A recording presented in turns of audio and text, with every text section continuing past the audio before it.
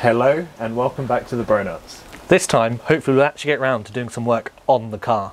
So we've started work on the electronics and hopefully we'll get around to turning that engine by hand today.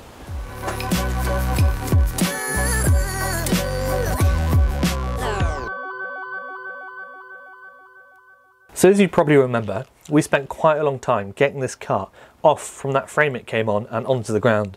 And well, it's back up in the air. The reason that we've lifted it back up is so that we can get a good look underneath the engine and hopefully get round to turning that crank by hand. Uh, the spark plugs and everything were out. That was the previous owner. There's no oil in the in the engine at the moment either. The previous owner said that he periodically tried to turn the engine by hand to keep it keep it going, uh, but we don't know that for sure. The gearbox is actually not connected, and um, we're hoping that it's not going to be in gear, so we can actually turn the engine. And as you can see, I can turn the wheels, so there's a good chance that it's not in gear. Yeah, it doesn't seem like it's in gear. The engine obviously is the masterpiece of the car, so if that doesn't work, this project will be very much dead in the water. So we're doing everything that we can to try and make sure that it, you know, it seems to be okay before ploughing money into getting it uh, up and running again. The uh, aim today is to hopefully turn it by hand, make sure that it moves relatively freely, that all of the banks of cylinders can can move, um, and that you know it's, it's not going to cause us major issues. Simultaneously, I've been looking at the electronics with Gert and looking at the core of the electronics, so basically what comes off the battery and where it goes. So that's basically just been in the cabin with the idea of going all the way back and working towards all of the electronics surrounding the engine. That way, eventually, we can try and start the car. What that means is we have at the moment been ignoring some of the accessory circuits and just focusing on what we need to do for the engine. The main aim is to get the dashboard and so on wired up, make sure we've got the engine's uh, circuits all wired up, while at the same time getting the engine uh, serviced and so on so that we can get, get it ready to, to get it going, uh, while also just making sure that everything else is, is there and that we, we've got it.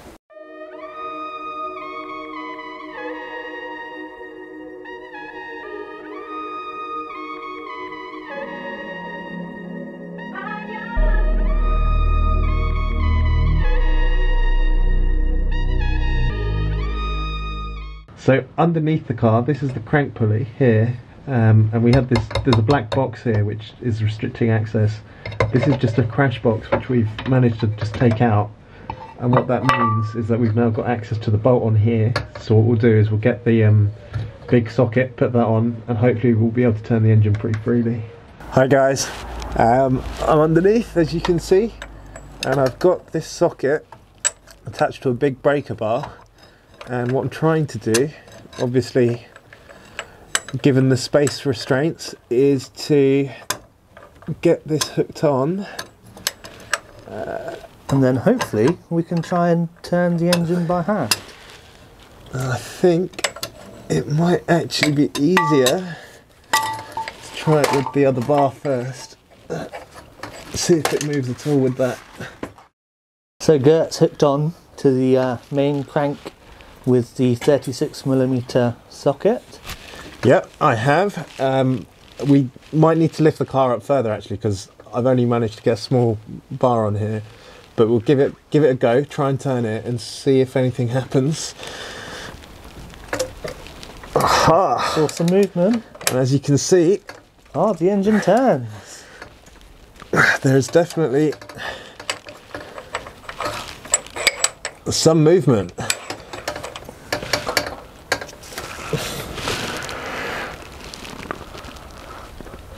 Oh, feels like it's jammed now. So although you just saw us uh, manage to turn the engine, um, having some issues turning it a bit further, so we've just swapped to the larger bar, and hopefully that will fix it. Yeah, so I was using a small bar just because we haven't got the car that high. Uh, I've now attached the big breaker. I can only turn it a little bit because there's gearbox cables here, but I'll give that a go. no, it seems a bit sticky. As it's a little bit more difficult to turn than we'd like, um, what we're thinking is because the engine's been sat for a while, things might have just started to stick a little bit. So what we're going to do is take some penetrating fluid and put it down in the spark plug wells uh, down here uh, in each of those. So obviously there's uh, eight in total. And what we'll do is put it put it in there, give the pistons a bit of lubricant, and hopefully that will help things move a bit more freely. Yes, turning. Right, it felt like it loosened up, so we try it here. Yeah, it turned quite a lot. Okay, try just turn it again. It's quite difficult. This feels like it's getting easier and easier. Yeah, it would do because it's better. There's lubricant. So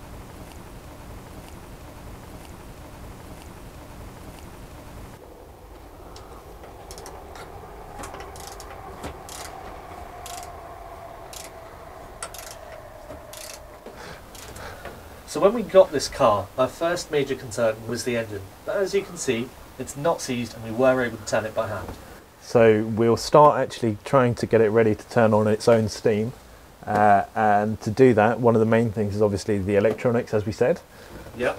So what we'll take you through in a moment is all of the electronics in the cabin before we can work our way back.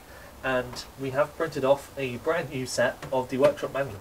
we did actually get a uh, or some pages of the workshop manual from the previous owner, uh, but they weren't quite right, were they? No, I think they were for the uh, 360 Spider and some of the diagrams were just a bit wrong. we, had, we had a look, and some of the wires just weren't where they were meant to be. So luckily, we uh, saw the, saw the logo at the bottom, and were able to just get the get the right one. Yep. Okay, so here you go.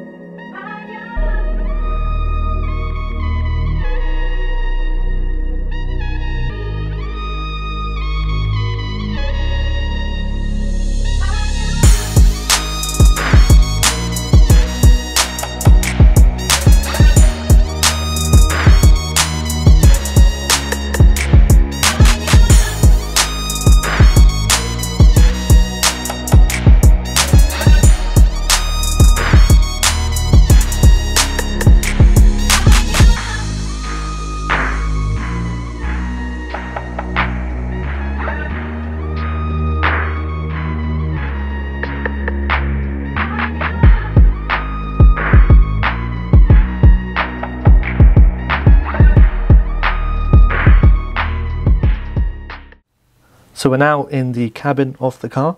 What we're going to do is we're going to start with battery terminals. So down here we have the negative terminal of the battery, and over here we have the positive. The positive terminal actually splits into two wires. You have one that sort of comes up into a fuse box here, and another one that goes towards the back of the car, towards the engine. We're going to focus on the cabin at the moment. So this wire goes into a fuse box and then splits into two. We have one wire that comes out and actually goes straight into this connector. So the multimeter, I can just check this. I'm not sure if you can hear that, but it's beeping. So that's connected.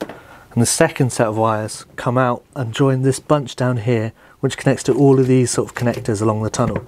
So we're going to check those now. We've just taken that fuse box off. Um, if you can see it there, there are a few fuses in it. But what we can do with the multimeter is check that these fuses still work. So if you just connect the uh, common onto one end and check the other, the positive, it beeps. That means that the fuse hasn't blown.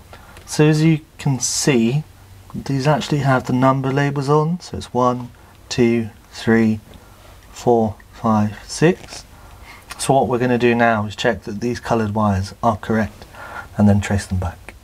In between videoing, we have actually been starting to get on with some of the work, and what we've done is we've taken some of the connectors, looked them up in the workshop manual, and we've started to label them. So you can see there's some labels on there. Uh, we've identified which ones are broken as well. So there's a few that are broken and, and will need replacing. And we've started to see, so you can see there where HDAN's holding it, there's, there's actually no connector there at the moment. Um, and that's, that's how it was when we got the car. So we're going to have to find connectors, make sure we've got all the right wires, and uh, obviously start plugging things in. This is one of the uh, broken connectors in the car. A lot of the wires have just broken off. So we're going to have to trace each of those using the manual and replace this connector. So if any of you know what this connector is and where we can buy some more of these, please let us know in the comments below. And if you turn it around, you can see we have actually identified that this is 7D, so we know which connector that is. it's a bit of a two-man job at the moment. So I've got the workshop manual in front of me, um, and this is that connector that HJAN was looking at, 24D. And if you look here, you can see each of the wires that are in, in that connector. And if you look over here, you can see H Chan has the connector in front of him. So what we're doing is he's reading out the uh, colours that are connected. I'm just confirming that it's the right colour cables that are in the diagram. Okay, so the first one is pink and yellow. Yep. Next one is uh, yellow and black. Yep. Next one is black and white. Yep. Next one is white and red. Yep. Next one is red and yellow. Yep. And the last one is just blue. Perfect. Yep. So those are all correct. Um, as you can probably see down there, there's a whole load of connectors that we need to go through and basically check. Uh, hopefully they're all as easy as that one.